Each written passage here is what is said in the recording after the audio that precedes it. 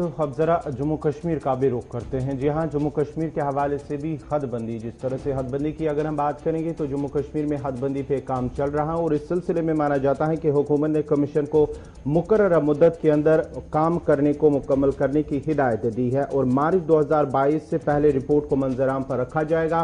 हदबंदी commission Jammu Kashmir के लिए सात नए असम्बली हलकों की निशानदेही कर रहा है। इसको ये काम सौंपा गया और लगातार इस पर काम भी हो रहा है। इससे पहले भी जो जम्मू कश्मीर इलेक्शन कमिश्नर है, के के शर्मा, उनकी जानब से कहा गया है कि मार्च तक हदबंदी कमीशन जो है, हदबंदी अपनी ये रिपोर्ट ये मुकम्मल करेगा। इस सिलसिले में जो भी मालूम थी, उन्होंने पहले ही जब दौरा किया जम्मू कश्मीर का तो मालूम फराम की डीसी से और साथ ही साथ उस पर काम चल रहा है। मजीद जो है, अगर उसमें कोई मालूम की ज़रूरत होगी तो उस पर भी काम किया जाएगा। लेकिन जो माना जाता है कि बारिश तक वो इससे मुकम्मल किया जाएगा और मार्च 2022 तक रिपोर्ट को मंजराम पर रखा जाएगा।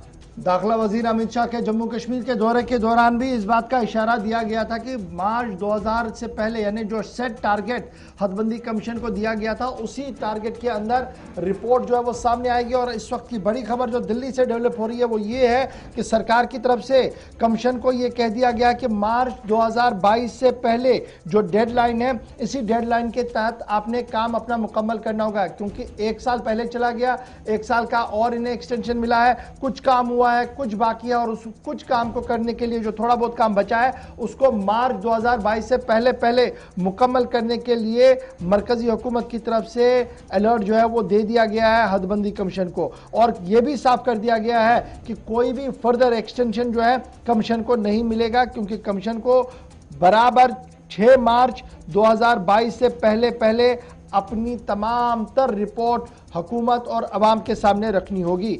अब ये जो रिपोर्ट सामने आएगी, जिसको तस्लीम किया जाएगा, उसके बाद ही जम्मू कश्मीर के अंदर असम्बली के इंतबात हो सकते हैं। और जब यह हदबंदी मुकम्मल होगी तो जम्मू कश्मीर असम्बली की नशस्तें बढ़ जाएँगी।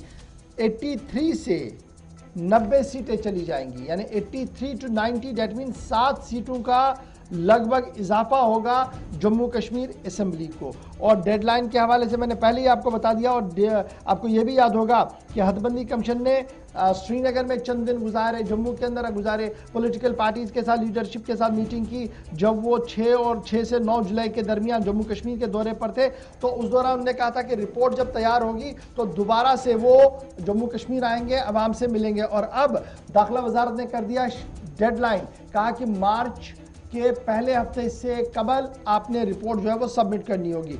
24 सीटें जो जम्मू कश्मीर असम्बली की वैकेंट रहेंगी, उसमें लगातार वो वैकेंटी रहेंगी। इस तरीके की बात जो है वो कही जा रही है, क्योंकि पाकिस्तान जेर इंतज़ाम पी ओ जे के का जो इलाका है, वो इस हदबंदी कमीशन के दायरे में नहीं है। इसलिए ये सीटें जो 24 वैकेंट रखी गई हैं, इन्हें वैकेंटी रखने की बात कही गई है। अर्थवाइज स्टेट जो हमारा जम्मू कश्मीर का था, कुल मिलाकर 111 सीटें थी, जिनमें 24 रिज़र्व थी और इलेक्शन सतासी सीटों पर 87 सीट्स पर हुआ करता था। और जब यूनियन टेरिटरी अलहदा बनी जो लद्दाख तो चार सीटें यहाँ से हटी और तिरासी सीटें चली गई। और तिरासी पर अब नई सात सीटें जो है वो लगानी है। और इस सिलसिले में अब लगभग लगभग काम जो है वो मुकम्मल हो चुका है और माना जा रहा है कि मार्च 2022 के बाद कोई भी फर्दर एक्सटेंशन हदबंदी कमीशन को नहीं मिलेगा। और साफ़ कर दिया वजारत दाखिला ने कि मार्च 2022 से पहले पहले रिपोर्ट को मंजर आम पर रखेंगे। क्योंकि दाखिला वज़ीर ने गुजशत दिनों दो बार इस बात का खुलासा किया है कि चुनाव हो जाएँगे, लेकिन उसकी शर्त अव्वल है हदबंदी। यानी जब तक हदबंदी मुकम्मल नहीं होगी, चुनाव होंगे नहीं। और जम्मू कश्मीर के अंदर चुनाव कराना वक्त की अहम तरीन ज़रूरत है, और इसीलिए फ़िलहाल हदबंदी के हवाले से जो खबर है, वो यह है कि हदबंदी कमीशन के लिए कोई एक्सटेंशन नहीं होगा। और मार्च से पहले पहले, यानी जो डेडलाइन मार्च की है, उससे पहले पहले रिपोर्ट मंजर आम पर आ सकती है।